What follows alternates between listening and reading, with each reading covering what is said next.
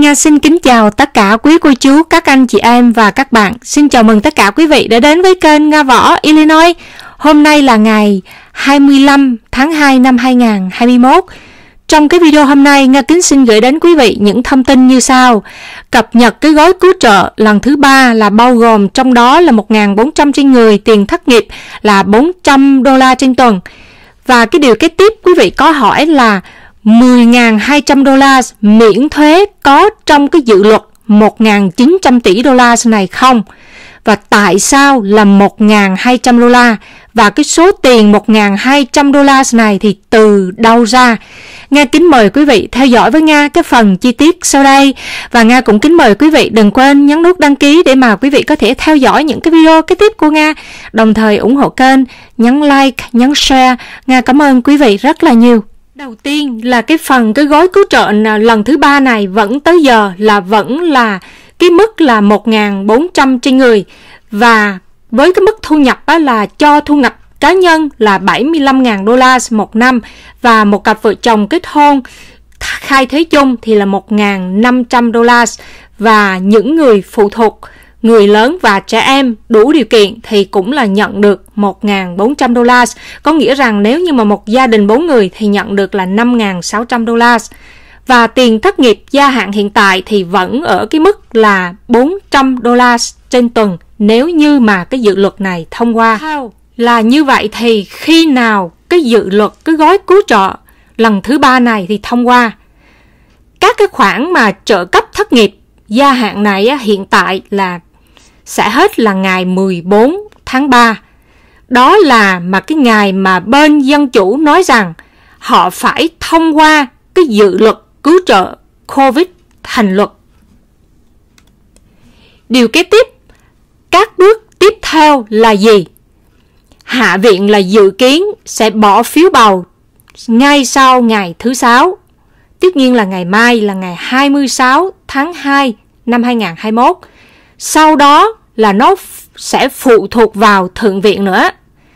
Nơi đó là đang là sử dụng cái quy trình điều chỉnh ngân sách phức tạp mà hổm rày là quý vị nghe cái việc là um, thông qua cái dự luật ngân sách á.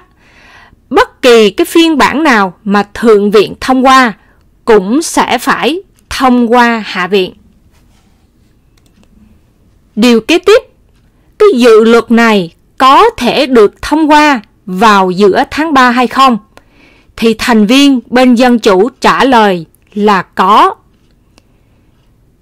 Lãnh đạo đa số Thượng viện, ông Chuck Summer cho biết hôm thứ Tư rằng chúng tôi đang đi đúng hướng để mà hoàn thành cái dự luật này và để nó trên bàn của Tổng thống trước khi mà cái trợ cấp thất nghiệp hết hạn là ngày 14 tháng 3 năm 2021 này.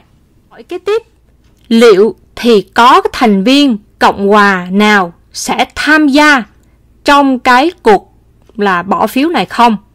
Câu trả lời rằng, dường như có vẻ là không.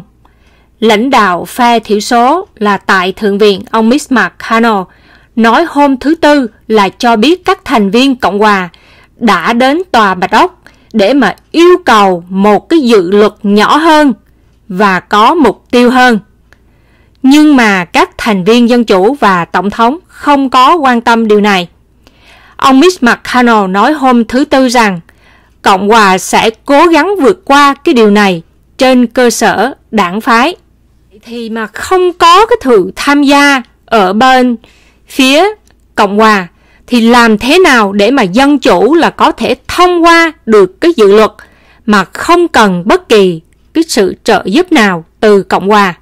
Câu trả lời rằng, đây là lúc mọi thứ trở nên phức tạp tại Thượng viện. Bên đảng Dân Chủ là có cái kế hoạch là sử dụng một cái quy trình gọi là điều chỉnh ngân sách.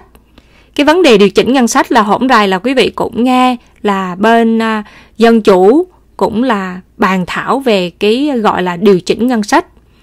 Một mặt được phát triển để mà giữ cho cái ngân sách liên bang trong cái tầm kiểm soát nhưng nó cũng cung cấp cho bên đảng Dân Chủ cái cách duy nhất để mà tuân theo các cái quy tắc của Thượng viện và thông qua mọi thứ chiếm cái đa số phiếu bầu bằng cách là tất cả các thành viên dân chủ đều tham gia.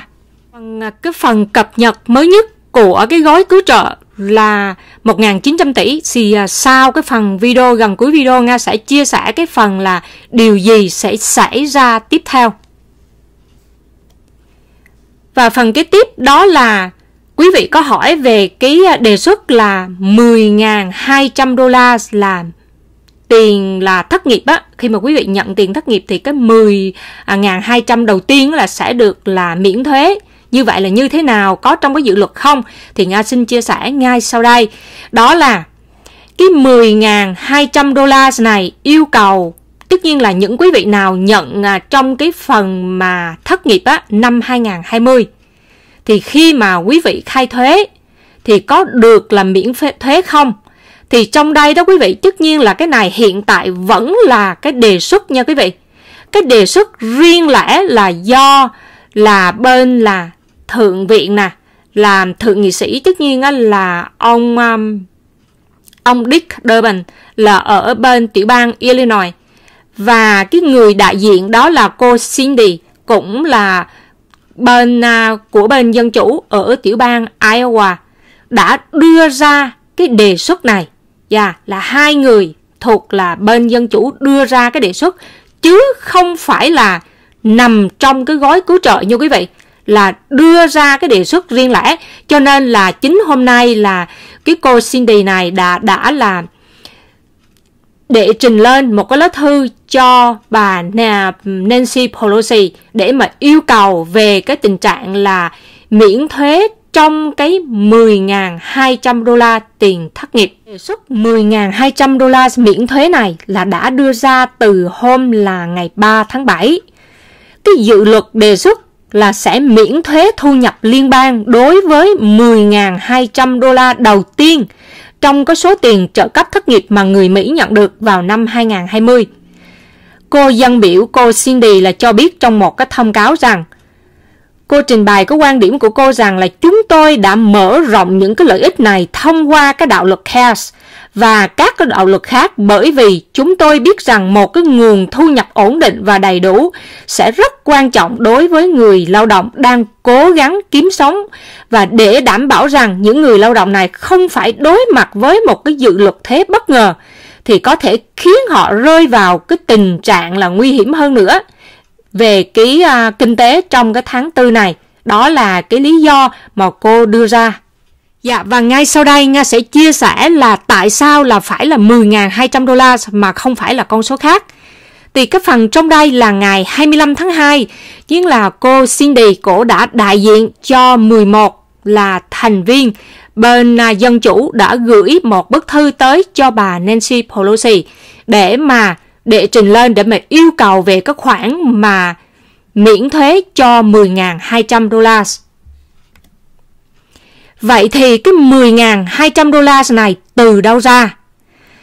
Nếu như mà quý vị nhớ lại là cái gói cứu trợ lần một là theo cái đạo luật CARES mà khi bắt đầu cái đại dịch đó đã là hoành hành nước Mỹ á, thì là bắt đầu á, là từ ngày 29 tháng 3 năm 2020 tới ngày 26 tháng 7 năm 2020 là quý vị được hưởng là 600 đô la của liên bang. Đó. Và trong cái khoảng thời gian này thì quý vị là được là 17 tuần, quý vị nhận được 17 tuần, đủ điều kiện quý vị nhận được 17 tuần. Như vậy thì lấy cái 600 trên tuần này nhân cho 17 tuần đó thì ra cái con số là 10.200 đô la. Cho nên chính cái số là 10.200 đô la từ cái số tiền liên bang này. Cho nên là bên um, ông Dick, Dick Durbin và cô Nancy là đã đưa ra một cái dự luật yêu cầu là bên dân chủ là đưa vào trong cái dự luật 1.900 tỷ đó để mà miễn thuế cho những người nhận cái tiền thất nghiệp. Đó là cái số tiền 10.200 từ đó ra là như vậy. Cái số mà 10.200 đô la này có trong cái dự luật cứu trợ lần 3 này không? Tất nhiên là khi mà quý vị biết là cái dự luật đã viết và bà đã thông qua bên hạ viện là không lại quý vị ngay đó, tất nhiên là không có cái 10.200 đô la trong đó. Nhưng mà chỉ là cái dự luật do ông Dick Durbin và cô Nancy đã đưa ra. Cho nên á, là bây giờ không rõ là liệu là cuối cùng là cái dự luật này cái dự luật mà 10.200 đô la này có trong cái gói kích thích 1.900 tỷ đô la thì không biết nha quý vị. Chưa có biết. Dạ. Cái gói là hiện tại là bao gồm là gia hạn tiền thất nghiệp liên bang nè. Nhưng mà không có bao gồm là cái gói là miễn thuế về cái khoản là bồi thường tiền thất nghiệp 10.200 đô la như cái đề xuất của ông Dick Durbin và cô Nancy. Cái gói cứu trợ này, cái điều gì sẽ xảy ra tiếp theo? Kịch tính này sẽ diễn ra trong hai tuần tới khi mà bên Dân Chủ làm việc để mà tìm cách thông qua cái dự luật trước ngày 14 tháng 3. Và một cái điều trắc trở mà quý vị biết đó là cái mức lương tối thiểu 15 đô la một giờ hiện tại á, là bên phía là Cộng Hòa là phản đối. Cho nên á, là cái gói cứu trợ này người ta cho rằng là sẽ có nhiều là kịch tính sẽ xảy ra trong hai tuần tới. Và nếu như mà có điều gì tiếp theo là cập nhật gì thì Nga sẽ là chia sẻ đến quý vị. Nga cảm ơn quý vị rất là nhiều. Mình là Nga. Nga kính mời quý vị nhớ bấm đăng ký, like, share, ủng hộ kênh và xem những cái video tiếp theo của Nga. Nga kính chúc tất cả quý vị, người quen lẫn không quen, nhiều sức khỏe và nhiều an vui trong cuộc sống. Nga xin kính chào tạm biệt và xin hẹn quý vị trong những cái video tiếp theo. Nga xin chân thành cảm ơn. Bye now.